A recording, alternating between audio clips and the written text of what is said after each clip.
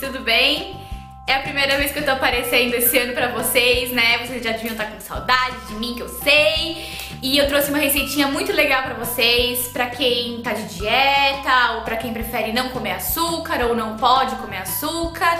É bem simples de fazer, como vocês viram eu usei a farinha de aveia, mas também dá pra usar o farelo de aveia que fica muito bom, né? Como vocês viram eu mostrei que não, que não, que não mistura no liquidificador essa parte do, da farinha ou da, do farelo de aveia.